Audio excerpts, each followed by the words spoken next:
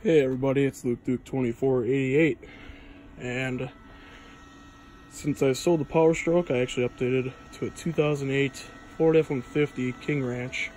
It's got the 5.4 3 valve V8 in it. Uh, got an intake on it. Plan on doing a throttle body spacer and whatnot but as you can see got a battery tender on my truck.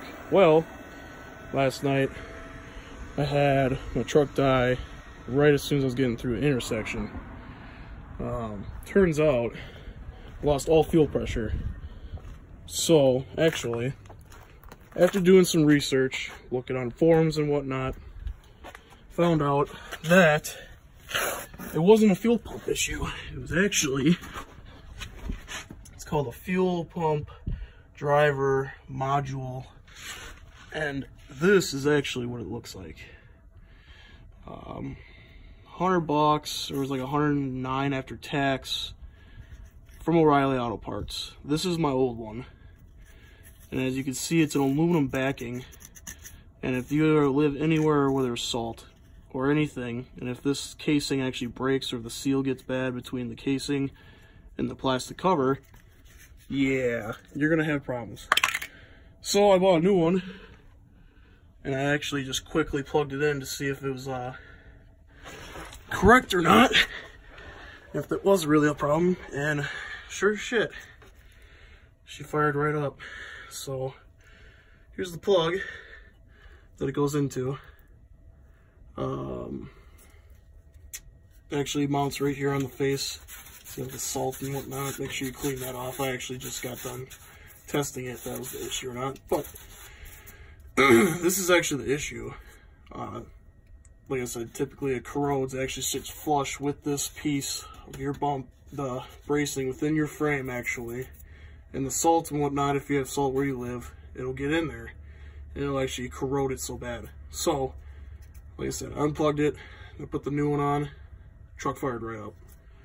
Um, didn't have any issues whatsoever, it just literally died on me. Um, so, before you start thinking it's your fuel pump, and if you have to get it towed back, don't freak out. Do your research, check out my, my video I'm making right now, and it might actually save you a couple hundred bucks. Uh, like I said, that module is uh, 105 at O'Reilly Auto Parts. I can get you guys part number for you real quick. This is a Dorman model sealed fuel pump driver module. 590001.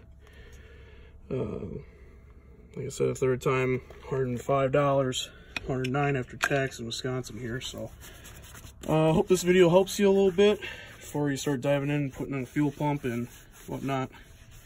Uh, I did trace back, it actually took out my fuse for the pump itself. The relay itself would not actuate with that being wrong. Uh, you go on the passenger side right here, this is where it's located in here. Uh, fuse number is F09, so it's fuse 9 in here. And then the relay itself will be, I want to say it's R303, so it's fuse or it's relay 3, and it's going to be mounted top right for the relay.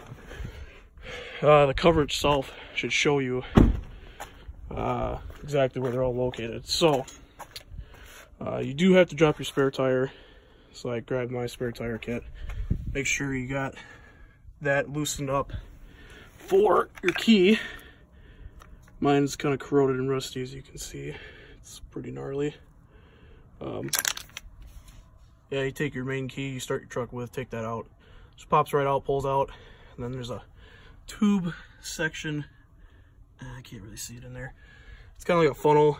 Make sure you use skinny part of your uh, toolkit for changing your spare tire. Go lock right in, crank it down, lefty loosey, righty tighty, obviously. Spare tire will drop down and, you're off to the races. Uh, the two bolts that hold it on are 8 millimeter for that driver module. Uh, I'd recommend soaking them in a little PB blaster if you got corrosion around where you live, obviously. And then you should actually be able to take it right off, put the new one on.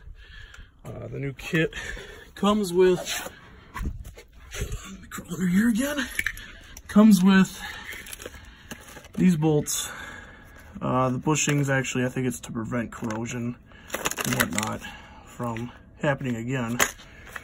Um, comes with another secondary kit. These are like studs, backers, and whatnot. Go right in little holes, and you put these on, and it should keep from uh, rusting really bad against metal and steel. And then the aluminum backing together obviously causes corrosion. So, all in all, pretty easy fix. If you got a hundred bucks laying around and you don't want to do a fuel pump, I would highly recommend changing that driver module before you do anything. So, when in doubt, do your research, look on forums, do what you need to do, figure out, troubleshoot it, and hopefully you don't have to do a three or four hundred dollar pump on your truck. So I hope this uh, video helps. This is uh, it's gonna be it for tonight. I'm good to go. Um, it's kind of cold out here. Sorry if I'm heavy breathing, but uh, yeah. So this is my 2008 F-150 King Ranch. Wish it was on better terms um, to introduce this new truck to my channel, but you know, timing's right and you gotta do what you gotta do, I guess. So, all right, been it. Luke Duke 2488, sign out.